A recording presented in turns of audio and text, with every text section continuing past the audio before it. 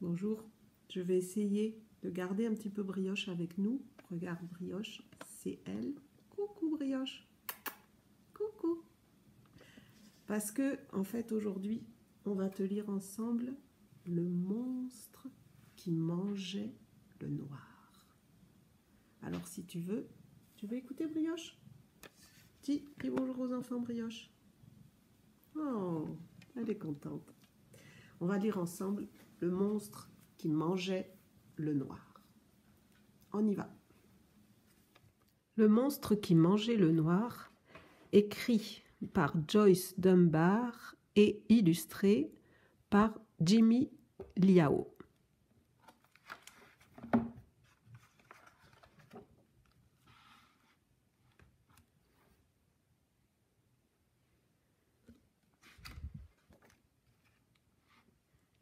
Jojo n'arrive pas à dormir. Il n'aime pas les ombres noires qui sont sous son lit. Il se dit que, peut-être, un monstre se cache parmi ces ombres. Sauf que cette fois, il y a bel et bien un monstre. Un monstre pas plus gros qu'une tache, un monstre si minuscule qu'on peut à peine le voir. Or ce monstre sent au-dedans de lui un creux énorme qui lui donne faim, très faim. Il mord dans une pantoufle sous le lit. Berk, c'est mauvais. Il mord dans une petite voiture. Oui, ça fait mal aux gencives. Soudain, il aperçoit une boîte. Il regarde par un trou l'intérieur de la boîte et découvre que c'est tout noir. Alors, il aspire le noir de la boîte jusqu'à la dernière goutte. Hum, délicieux. Le monstre a un peu grossi, mais il a toujours faim. Il regarde autour de lui et se demande ce qu'il pourrait bien manger encore. Sous le lit, il y a beaucoup, beaucoup de noir. Le monstre avale tout jusqu'au bout. Il lèche même les coins les plus sombres, si bien qu'il ne reste plus rien du tout. Le monstre a encore grossi, mais il a toujours très faim. Alors il engloutit tout le noir de l'armoire et tout le noir caché dans les plis du rideau le monstre grossit et grossit encore. Mais il a toujours très faim. Le monstre se glisse hors de la maison de Jojo et entre dans d'autres maisons pour se nourrir de noir. Il trouve du noir dans les caves, dans les greniers et dans les cheminées. Il dévore tout jusqu'à la dernière miette.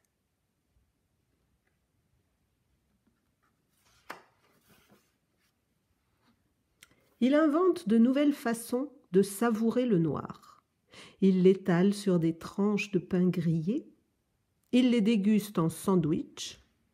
Il aime tout particulièrement la soupe de noir qu'il prépare avec le noir des puits.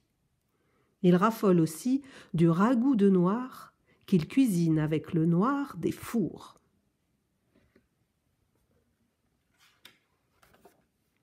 Puis il découvre le noir des terriers de lapin, un noir très tendre, et le noir des terriers de renard, hum, une vraie friandise.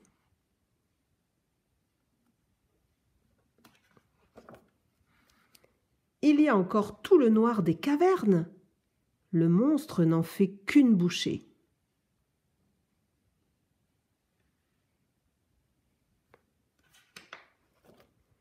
Pourtant le monstre a toujours faim.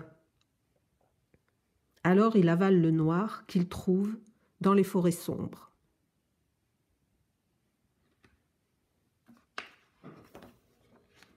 Et le noir qui repose au fond des volcans. Le monstre grossit et grossit encore. Mais il a toujours faim.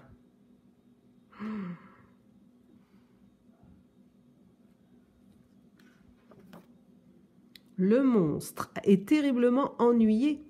Et s'il avait avalé tout le noir qui existe? Puis il voit la nuit qui s'installe. Et il faut bien l'avouer, il engloutit aussitôt tout le noir de la nuit. Il mange le noir qui entoure la lune, et la lune cesse de briller dans le ciel. Il mange le noir qui entoure les étoiles, et les étoiles cessent de scintiller.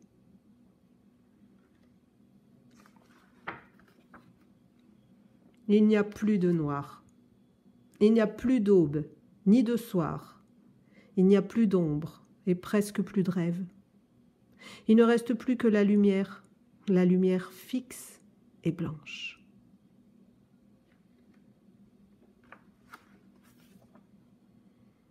Le monstre s'assoit sur une planète solitaire.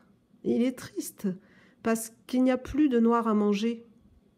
Il regarde vers la terre et la terre a l'air triste elle aussi, sous la lumière éclatante.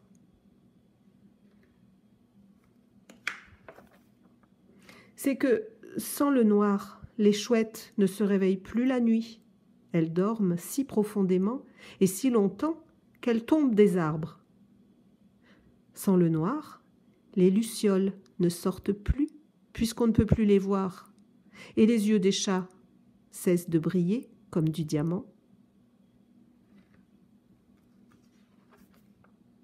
Éblouis, les hérissons se carambolent, les renards trébuchent sur les rochers, les chauves-souris se tiennent à l'endroit au lieu de pendre à l'envers. Et les ours aussi sont perdus et inquiets.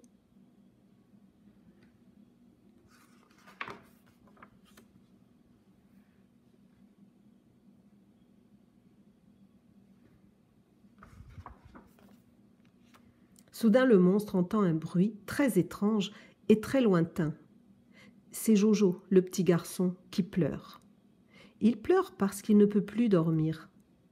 Et pourquoi ne dort-il plus? Parce qu'il y a beaucoup trop de lumière.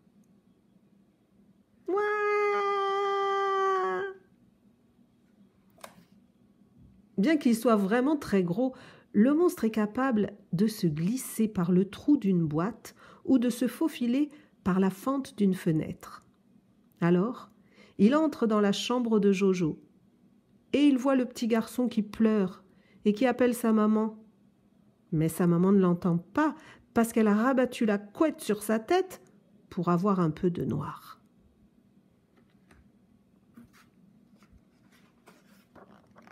À ce moment-là, le monstre fait un geste étonnant.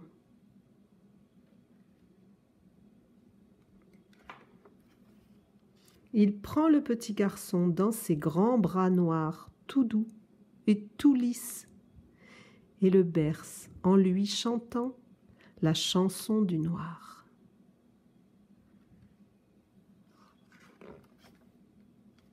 Bientôt, Jojo s'endort et le monstre s'endort aussi. Il n'a plus faim désormais. Il n'a plus ce grand creux au-dedans de lui. Non, désormais le monstre ronfle et roupille, le petit garçon bien en sécurité dans ses bras.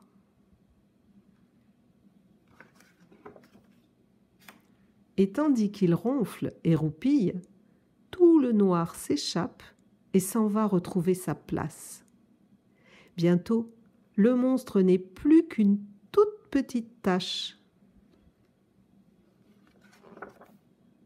Une tache minuscule et heureuse qui s'endort bien vite dans les bras d'un petit garçon.